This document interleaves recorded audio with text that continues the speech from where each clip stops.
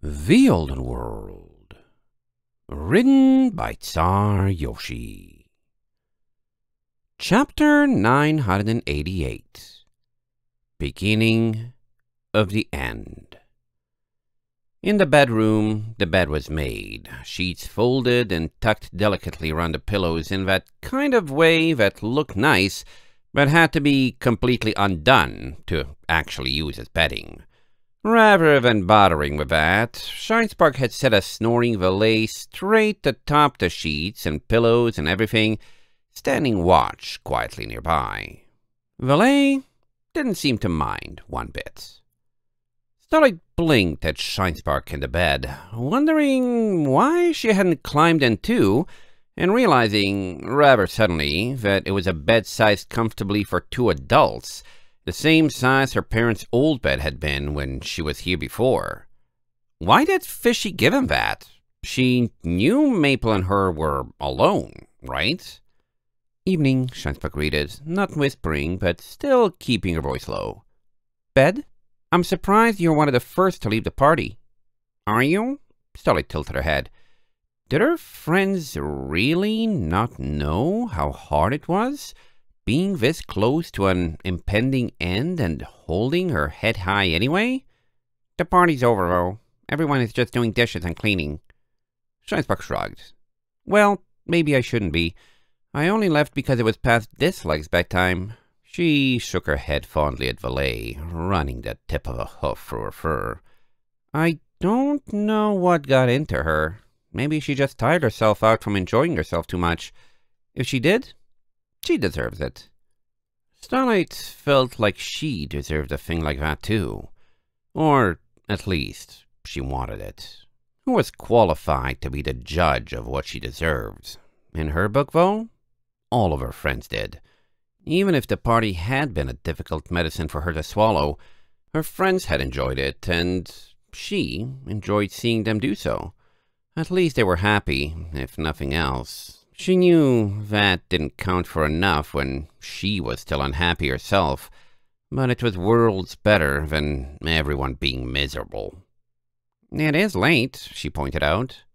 And Valet stayed up all night many times before. I was expecting her not to sleep at all tonight. Shinespark glanced at the bed again. But here she is. Starlight glanced at Valet again. Why aren't you with her? It would be awkward if it was just the two of us. Shinespark flicked her tail, settling for leaning against the bedside and sitting on the floor. Just waiting for someone else? You don't have anything else you want to do before bed? No, Starlight swallowed. It was half true. What she wanted was to spend an eternity growing up with her friends at her sides, but going to bed was synonymous with ending the last few hours of their time together and saying goodbye.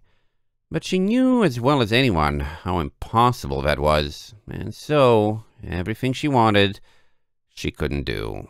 Bed was her only option, closing her eyes until it was over. Well, feel free to join, Shinespark invited. I'll be along in a while, but Valet is in a cuddly mood at the moment. Starlight stared at the bed. It was wide and open, her green-maned friend doing her best to hog as much as she could, and still leaving ample room for others. The window blinds were open. She could easily look out at the night-clad roofs of Sire's Hollow, her past and future home. Numbly, she put a hoof up on the edge of the bed, feeling like she was taking her first step into the mountains so many months ago stepping from one life to another in the space between Sire's Hollow and Riverfall, like this one night was equivalent to the weeks she had spent shivering and on her own. She hauled herself fully on board. Valet immediately sleep hugged her and held her tightly in her forelegs. Starlight squeaked as her lungs were squeezed and she was nuzzled against Valet's chest. But her sleeping friend was still gentle. Starlight suddenly didn't want to be let go. She was still facing the windows, and from here, it was like the view of the town was straight beneath her. Sire's Hollow was where she would land if she fell, and she was currently soaring above it, carried aloft by her friends. It was so distant, and yet so close, far beneath her, and yet a single leap away. Just like the leap off the cliff face to make it from the mountains to Riverfall, she had to make it to the bottom, and her time was almost here. Would she try too hard to prepare, just like last time, and be swept over the edge in an accident? Or would she jump on her own power, ready or not? Starlight wanted to jump. She wanted to tear away what she couldn't keep, leaping halfway backwards and halfway forwards into that potent mix of past and present the fragments of her old life that still endured across time, waiting to mix with the shards of her new one that she was allowed to keep. Maple, Fluffy, the ponies she remembered in the north, the ponies she was remembered by in the south. But time wouldn't budge, moving at its own determined rate, and the only leap she could take was to close her eyes and pray that everything would be all right. It's me, Slipstream's voice quietly greeted behind her. Oh, am I early? Gerardo says he'll take a mat beside the bed so his beak or talons don't poke anyone in the night. Starlight waited, and Slipstream crawled into the bed. Valet grabbed her too, and suddenly she was sandwiched between two mares, though with plenty of room to breathe. She could still see the window when she cracked her eyes open. Slipstream was a Pegasus, and neither of the group's Pegasi were as close to Starlight as Maple or Valet.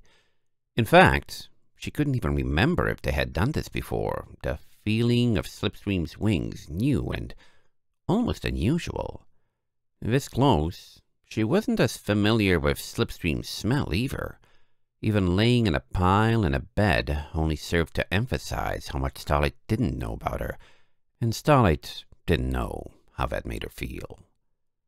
Wasn't part of the point of settling down that she could expand out and have more ponies in her life after all? Why bother when there were ponies still around her she could know so much more? She knew that Slipstream liked Gerardo, sweaters, and was too wowed by her place in life to ask for much more. But how much more was there to this Pegasus? She was a pony too, after all. Her thoughts and hopes and wishes were probably just as complex and varied as anyone else. And because Starlight was saying goodbye, this was the best she would ever know her. It was a closing door, the end of an opportunity. The end. But weren't there dozens of other ponies in Sire's Hollow? Scratch that, there were at least a hundred. Each and every one of them would be the same, and Starlight knew them even less than this Pegasus who had joined her pile. It would be impossible to hold each and every one of them close with the closeness she wished others to have toward her. Only a goddess could do that. Wasn't there any middle ground? There had to be, because for all Starlight didn't know about Ismare, she still didn't want to let go. I see we're gathering, Niala murmured, entering the room. May I join too? Let's get this started, Shinespark agreed. The bed has plenty of room for more. Two new bodies entered the pile, though still, Starlight's view stayed unblocked. Valet and Shinespark, they were family. Starlight wasn't sure what Maple was to her anymore, and she wasn't sure about those two either but she had never seen their happiness as her paramount goal. Their safety? Sure, she had put herself on the line for them many times. But they were ponies she was distant from enough to look up to, yet close enough to admire as well. She wouldn't miss them, she knew. But what was Niala? Niala was Valet's sister and the pony on the ship she knew the least about. Starlight felt like if she had to tell someone everything she knew about all of her friends, there were some where she could ramble for hours, and yet, for Niala, she would draw a total blank. Quiet? The Bat Pony was quiet. Valet's sister? They had a shared history, though Niala had never talked about it where she could hear. She had once given Starlight a glance into her mind at Kinmari when she talked about the cave she had found in Icereach that descended to the life stream and how she didn't like seeing it used for science. And that was all Starlight knew. For losing Niala, it was less a mourning of what was lost and more what could have been. And perhaps it was simply for the sake of telling herself that partings were painful. She could just as easily spend time around Niala as any pony in Sire's Hollow, after all. The stress at the idea of losing her? No, it really was just distress at the idea of losing anyone, period. Sunburst had left. That had hurt. She felt like she had been told to get over it, though she really couldn't be sure. And so, trying to say that partings didn't have to be painful, despite how she desperately wanted it to be true and knew that in some way it could be, felt like saying all that pain was unnecessary. Starlight didn't want to hurt for no reason. She wanted there to be something, some light, some relief at the end that would make it all worth it and let her live happily ever after. It was a fool's dream, but it was hers. And if there was nothing else she could hold on to and keep for herself in life, she could always still have hope so long as she cared for herself and didn't let it burn out. This pile is looking large already, Granada remarked, entering the room. A sound of hoof against wood rang out. In A sturdy frame, though. I think it can manage me. Good thing none of us are particularly large, Slipstream mumbled back. Granada joined the bed, further away from Starlight in the pile. How did she feel about Granada? Like Slipstream, Starlight knew more about her than Niala, yet didn't engage with her as much as her other friends. Granada was a friend of a friend, Shinespark's sister, and Harshwater's old boss, rival, nemesis, whatever their relationship had been in Mythvale. Starlight remembered, once upon a time, how she first met Granada in the dining hall of the Immortal Dream.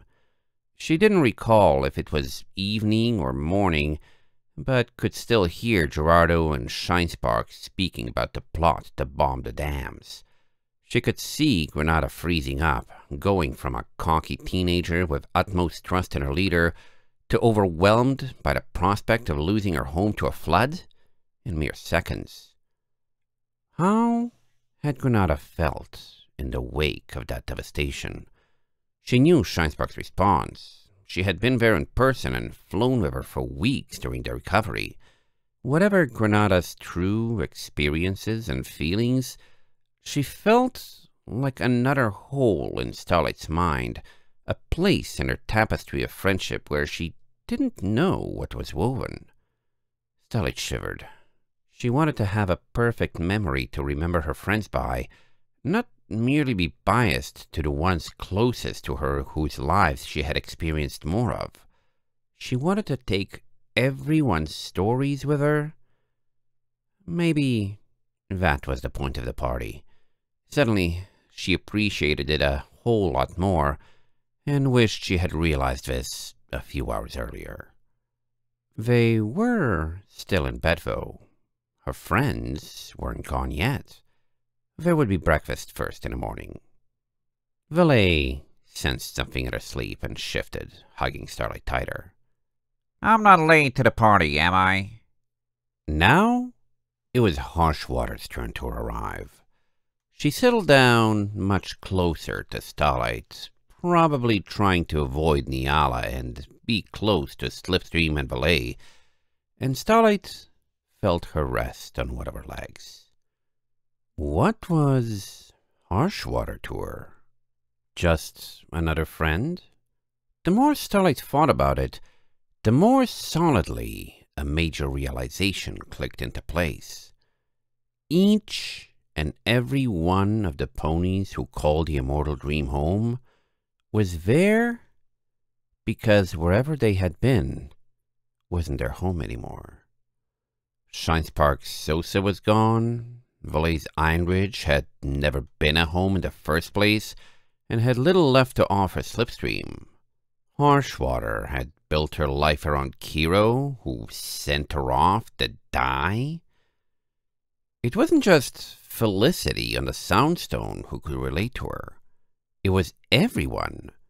Any one of the ponies in this bed she could pick, and they would know something about leaving their world behind or having it ripped away. All of them could help her, tell her what they found, and walk beside her. One might even go as far as saying it was why the group of them traveled together. For finding ponies who knew about dealing with loss, she had to look no further than the ones who had surrounded her for the past weeks and months. Why was she letting them go on ahead? All the expertise she needed was right here. Except it wasn't.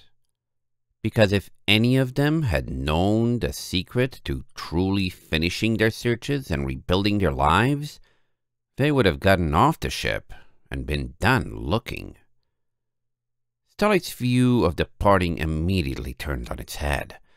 What if she wasn't being left behind, but leaving them behind? What if the unknown she was stepping out into was precisely what all of them were looking for and had yet to find. It was an idea of hope for her, but for her friends, they weren't going out on a heroic adventure to get the writs of harmonic sanction so they could bring her and Maple back into the fold. They were finding them for themselves so they could catch up. How could she handle this? How was this okay? She owed her friends everything. Could she really take the weak road and walk toward her happy ending early, leaving the rest of them to fly on alone? No, Valet's voice chided in her head. She had it all wrong. It was absolutely okay because she was at the end of her rope and her friends had the strength to keep going. And the only way to get everyone to the finish in the end was to give no one more than what they could bear. Starlight started crying, tears trickling from her eyes, without any change to her breaths. She didn't even sniffle. She had done that too much today to have energy for anything more. But she cried because she was weak, because she had to be the one who finished first, because she didn't have the strength to make sacrifices and protect her friends and do what it took to care for them, even though she was the strongest filly she knew. Starlight cried because whatever all her power was worth, it measured up to nothing compared to this. She cried because she couldn't, and because she didn't have to. She no longer had to be the strongest. She could afford not to because her friends were stronger than her. It was what she had always been afraid of, having to rely on fate for a good outcome when she lacked the strength to intervene herself. But was relying on her friends the same as relying on fate? When she knew they would fight for her and for themselves with every bit of fervor she could muster on her own? This was what she was terrified of, but it was what she also so badly desired. At long last, Maple and Amber entered the bedroom, sense more familiar than any of the others save Valet. They closed the door behind them, still not sharing a word, and the bed shifted and groaned one last time with their movements. Maple tucked against Starlight, and Amber sprawled atop Maple, and while the rooftops of Sire's Hollow were still visible, looking out in that direction now held the visage of Maple as well. Starlight was looking at her future. Maple was still there. Amber was a part of Maple's story, and they would both miss her keenly. But out of all the goodbyes Starlight could think about all of her friends, Maple was the one she didn't have to. She was the one she could hold on to. She was safe. She trusted her never, ever to leave like Sunburst. Mm, love you, Starlight mumbled, her mouth pressed partly shut by the bed. I love you too, Starlight, Maple whispered against her. Let's get some sleep. We have a big day tomorrow. Starlight closed her eyes one last time and tried to sleep. Outside the window, the roofs of Sire's Hollow were still all visible, lit by the stars.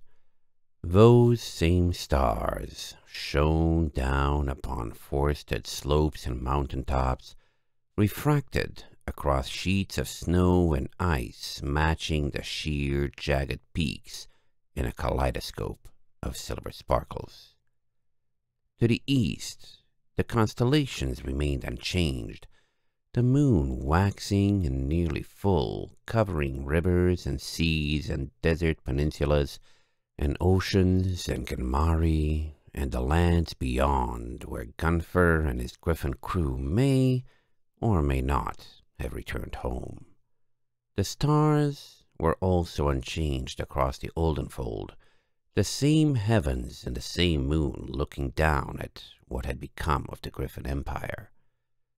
Far beyond Starlight's view, the stars themselves still reached.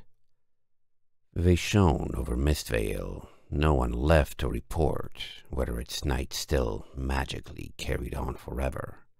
They watched the wave tips of the northern sea, a crossing that had once been the staple of the northern world economy, though who but the stars could say who was crossing it now?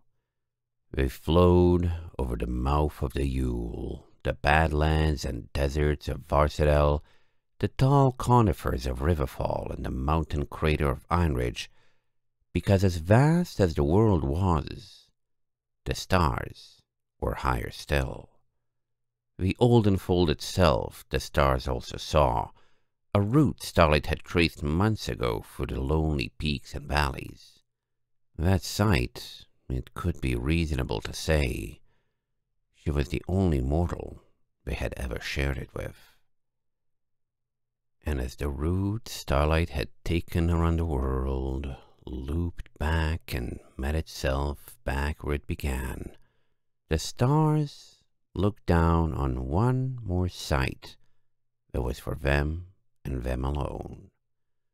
The shielded ocean bay where the immortal dream sat, Harmony Comet powered down and doors locked tight, where tiny northern airships sized for one coasted down the mountainside and came to rest on an outcropping as hidden from view of the town as it could be.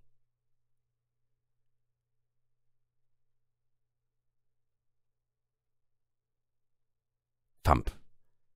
Four paws alighted almost silently on the deck of the immortal dream, and a feline muzzle raised its nose and sniffed.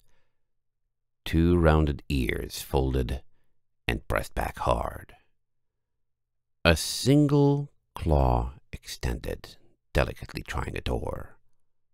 Locked. They didn't try to force it. With a rush of wings, a shadow glided to the boat's side, glancing in through porthole after porthole.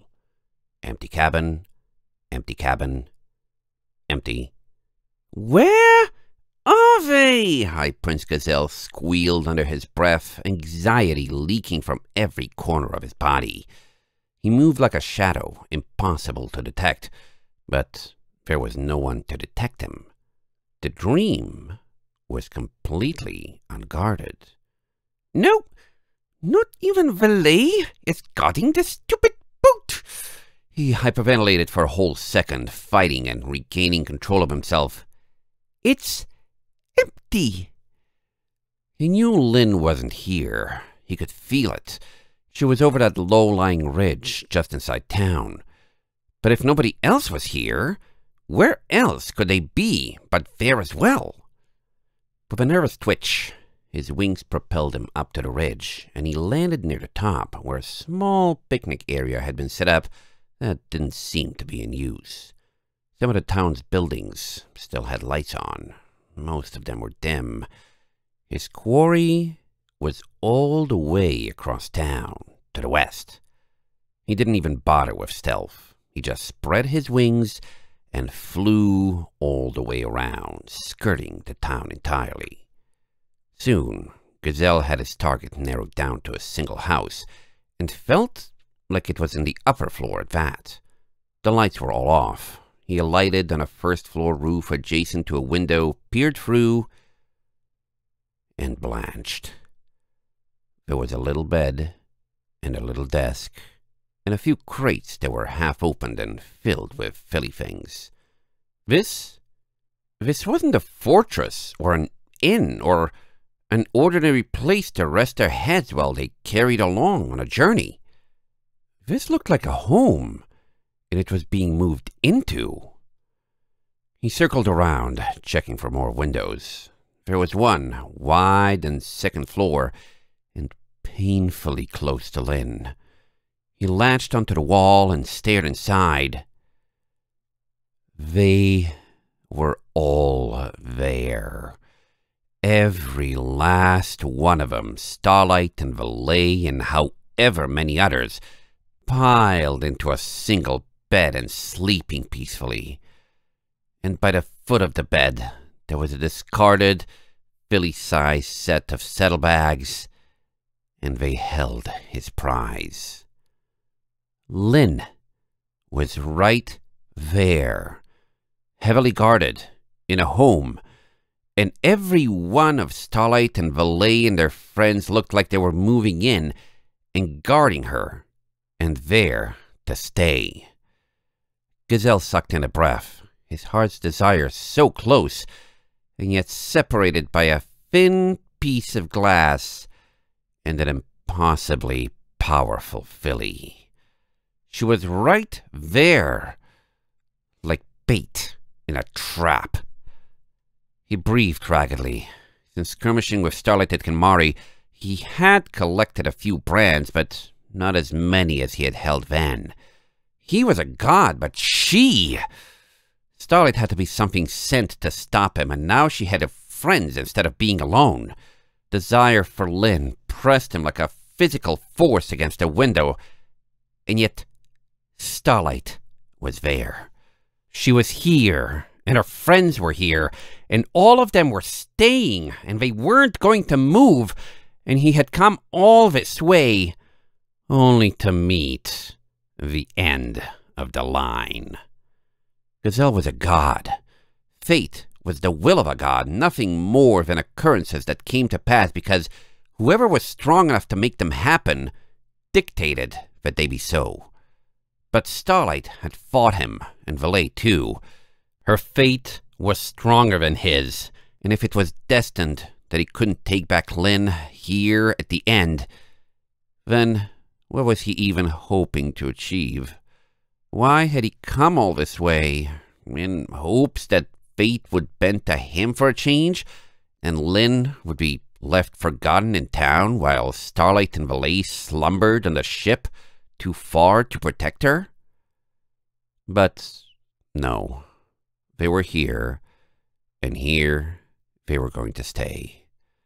An image stretched out in his mind, reaching for eternity, of the lot of them sitting in this town right there in that bed and guarding his sister forever, and... He almost broke the glass. It almost would be better to die trying than to give up when he was so close. But he knew he couldn't do it. Thought it would prove stronger. It wasn't fair, but he couldn't do it. Why? Why hadn't he been enough back on Kinmari when he had her and underestimated that wretched filly and lost everything again? Why ever it was, Gazelle couldn't do it.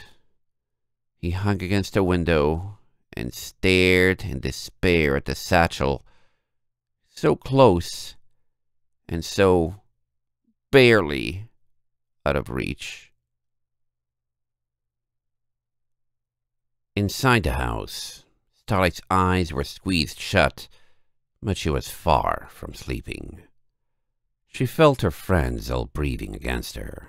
All of them had calmed and drifted off long ago, and she wished she could do the same.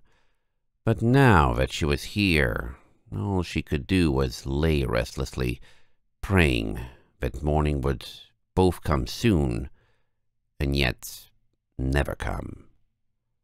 Her world ended tomorrow, but she had survived such a thing before. Or had she? Could she really call where she was now survival? She could, because that was exactly where she was, surviving. Maybe not living, that was the next step, but she would survive. It would be okay. She could do this. She wished she could do it, knew she could do it, wished that her wish would be granted and she could have a strength worth believing in to let go of her friends and face a future without them. But with them all here, so close and present, they were impossible not to hold on to. Starlight prayed that she could do the impossible. You can do this, she squeaked, her tongue moving halfway for the motions, and no breath following to make sound, a tiny, high-pitched noise in her throat, all that reached her ears. You can do this. You can do this. You can do this. I can't do this, Gazelle breathed, the cold reality he had been running from for a month of travel hitting his face, just like the window to Maple's bedroom. What hope did he ever have of getting Starlight to leave Lynn alone and give her back? Force was the rightful option. It was his right to use that. He could have anything. He could raze this town to the ground as it slept, take all their brands, and decree himself to be in the right purely because it was within his power. But what purpose would that serve?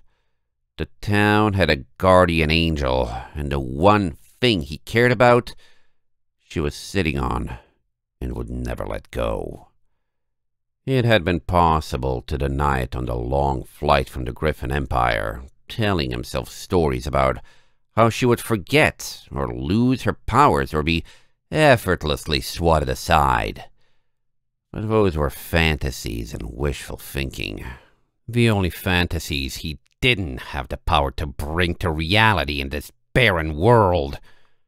That, and get Lynn back. Who was Starlight guarding? Who was she the angel of? Once, he had thought she stopped him to bring him back to his senses long ago when the Empire was still his own. But no, she was like a dragon, zealously guarding the things she claimed as her own. She only bothered him when he tried to take something she wanted, like any other pony at all. Gazelle hissed in rage, his jaw contorting in a silent, helpless scream. He was so close, and he couldn't. He couldn't do it. Screw Garshiva and her bargains and plans. He didn't care about whatever she had to offer unless there was a time machine that could bring back the past in that fetid temple of hers. He would become the most powerful being in the world for Lynn, do anything for her. And that was where his road ended, because of this accursed filly who wouldn't get out of his way. Even by sleeping peacefully in a bed, she stood in his way, and there was nothing he could do. He couldn't do this at all. Please, Starlight whimpered, her voice still a wordless, tiny squeak that was too high for anyone else to hear. If anyone is out there and anyone can hear me, please help me. What was she wishing for? Strength to survive and go on living?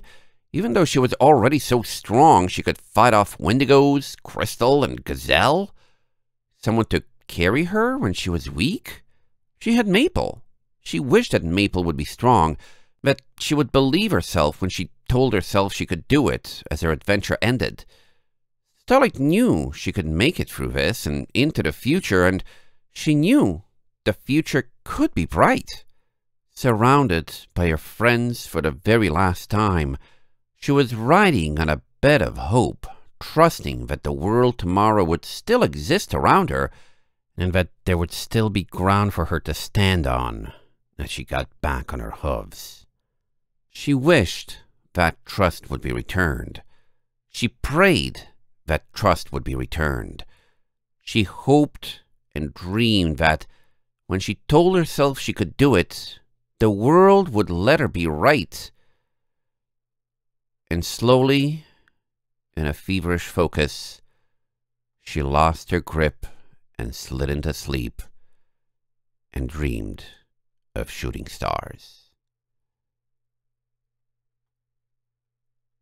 Gazelle fell back from the window.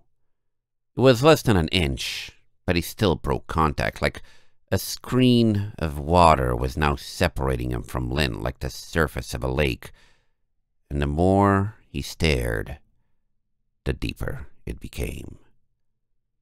He couldn't do this. The water was pushing him away.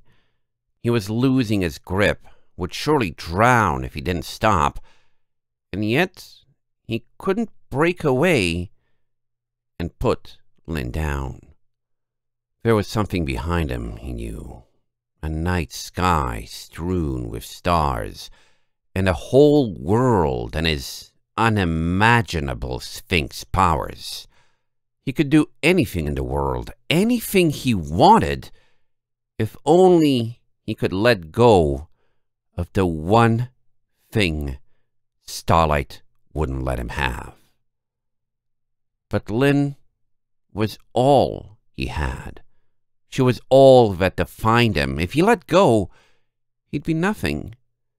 But clinging on and trying to reach her, he just couldn't do it. Where was the answer? There was none. But what could he do? Stay where he was? Night would pass, and morning would come, and Starlight would see him, trap or not. He couldn't reach Lynn. He knew Starlight would stop him. But he couldn't let her go either. There was just nothing he could do. He was almighty, and he couldn't do anything. Not anything at all. Gazelle ran away. End of chapter 988.